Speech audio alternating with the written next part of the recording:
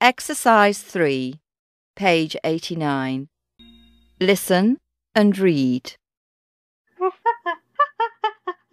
Oh no! Teddy hasn't got any eyes. Yes, he has.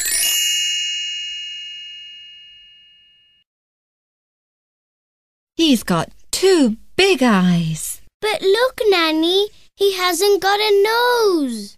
Yes, he has. He's got a small black nose. Oh, now Teddy's wonderful. Now Chuckles is very happy. Thank you, Nanny. Thank you, Nanny.